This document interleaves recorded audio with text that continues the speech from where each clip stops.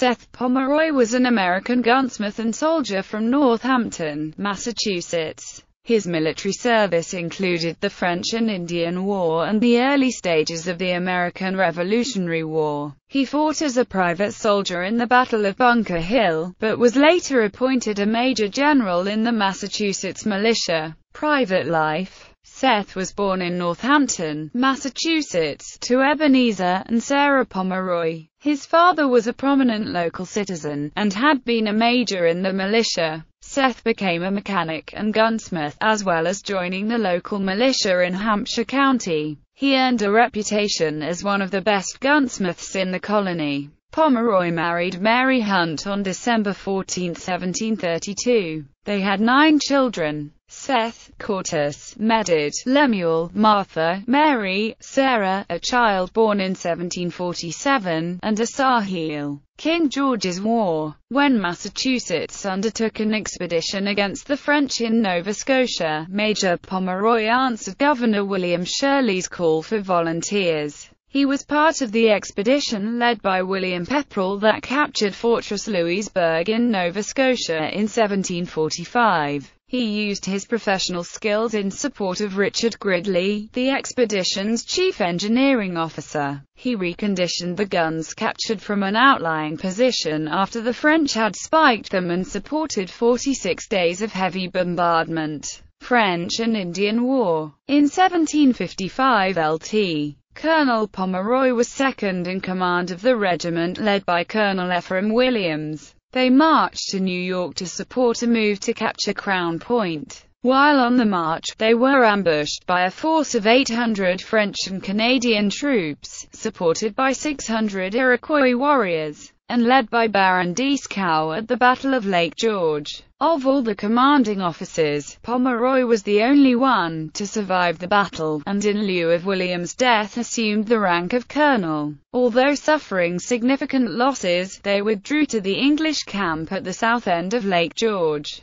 There they built a hasty wall of wooden carts and made their stand, supported by cannon and additional forces under General William Johnson. The Indians and Canadians would not attack in the open. When Baron Dieskau was wounded, the entire French force withdrew for Fort Carillon. Dieskau was captured, and Johnson would build a more permanent Fort William Henry to protect the site. Revolutionary War. Although a senior officer in the Massachusetts militia at the start of the war, Pomeroy had a limited role. He was, after all, nearly 70 years old. But where the siege of Boston began in 1775, he was among the volunteers that went in support of it. On June 17, the British naval bombardment marked the start of the Battle of Bunker Hill. He borrowed a horse from General Artemas Ward and set out for Charlestown. When he reached the neck of the peninsula, he found troops piled up because the narrow strip was under fire from British warships.